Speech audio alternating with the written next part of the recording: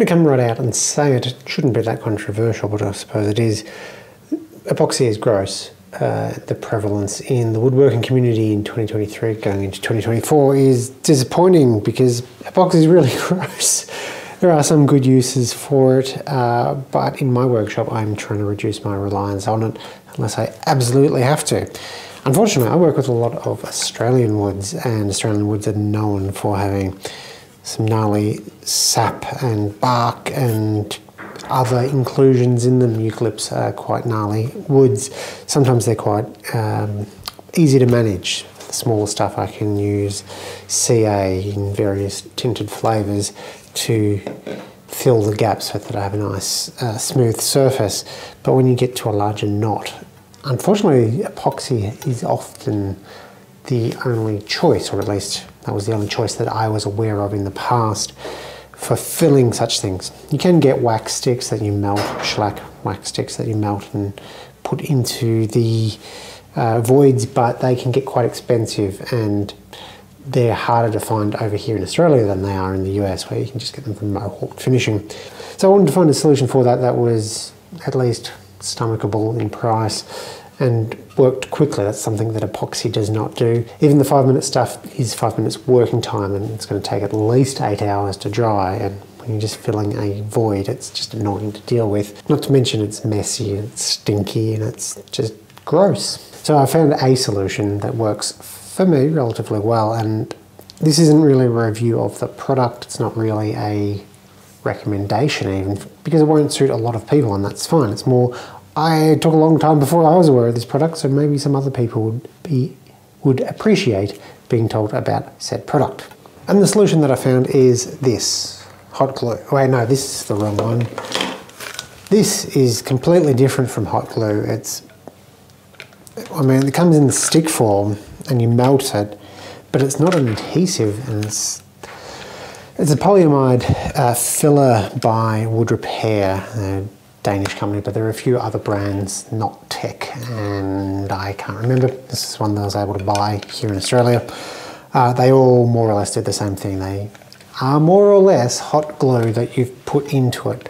It dries a fair bit harder than regular hot glue, meaning that you can sand and scrape and plane it much easier than hot glue, which tends to be, at least in my experience, a little bit gummy. So when you're sanding it back, you won't get a nice finish.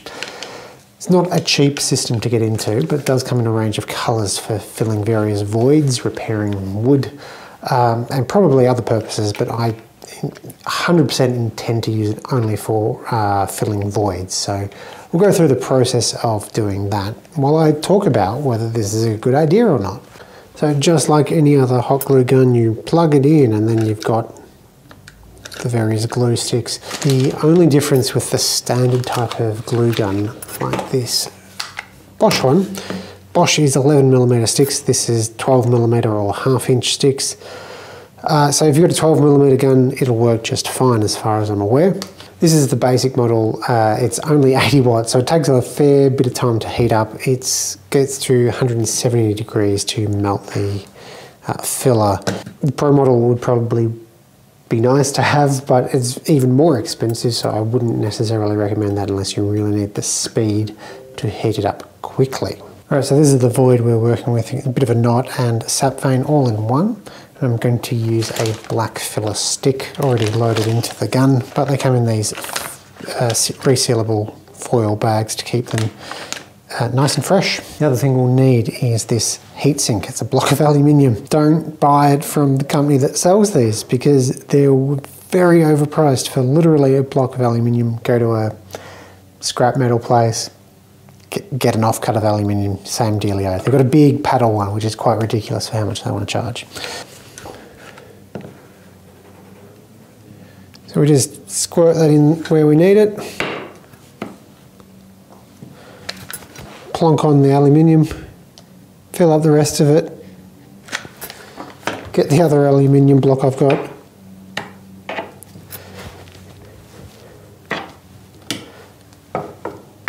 And we're almost done. That's just so quick compared to any other form, just a little bit in there, any other form of filler. We'll just let that cool down just a little bit. Now, the problem is I haven't used up all of the sticks, so what do you do? You're supposed to reseal these. So the kit that I bought came with this, um, what do they call it? Knot filler saver tool. It's a silicon mold for purging it basically. So you just fill that up. We're just basically using it all up until it won't go anywhere and that should cool down in half an hour or so. Now the problem with this is that there's still some left in the gun that you can't push all the way out so there's going to be some loss and if I needed to change colour I just have to ram in another colour and sort of purge it until it was running whatever the other colour is, the new colour. I'm mostly going to be using black filler for knots and sap veins and things like that so it's not a huge deal for me but it'd be nice if there was like a heat resistant rod to like push it through or something. I don't know. It's fine. Um, better than nothing, I suppose, but it could be better again. So I need to get the excess uh, filler out or off the surface. You can definitely sand that back if you want to, but there are quicker ways. Uh, the kit that I bought came with their flush trim tool, which looks pretty much exactly like my flush trim tool, but I have this now and I can dedicate it to it. So there's that.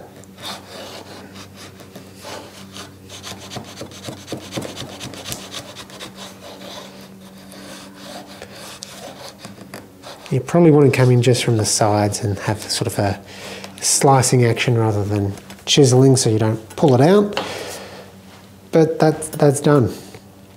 Um, it'd be great if I could reuse this, you know, melt it down, but it has collected a little bit of gunk uh, just from the wood. But that's taken just, I don't know, five minutes including heating time to fill this knot, whereas I'd still be waiting for the epoxy to get a little bit stiff in this time, let alone the next eight hours where it isn't fully hardened. Now, if you want to get to the nitty gritty, there are a couple of spots that I uh, accidentally did pull it out of. see here, there's a few spots, and here, and here. So I could come back with my CA glue and fill that in or go another round of the knot filler adhesive melty doohickey stuff and put that in and just be a little bit more gentle when I'm doing that slicing action. But you know, that's not a gaping void like it was before. One thing I do want to draw your attention to is that there's no staining around where the filler went in. There's a big issue with the tinted CA and especially with tinted epoxy. If you're not careful, you can get a lot of staining around where the void is filled in. So often you'll just go for clear epoxy so that you're not messing everything else up. Now, as I mentioned, this is not a review. It is not a product recommendation. Quite the opposite. I probably wouldn't recommend this to everybody uh, as the buy-in is pretty expensive. I think if you could get the knot filler things for a little bit cheaper and could find a, a appropriate uh, gun that is not the wood repair brand but you know meets the requirements, uh, that might be fine then. But it is an expensive system. I'm glad I've got it and I will continue to use it. I'll continue to buy the kind of expensive filler sticks but for a lot of people, CA, tinted CA and epoxy are going to be a better choice. Just from an economics point of view, epoxy, while it isn't the cheapest material when you're not making plastic monstrosities and just filling wood, it is relatively cheap in that it goes a long way and lasts a long time. But I'm much happier not having to futz around with eight hours cure time minimum type thing for non-structural things.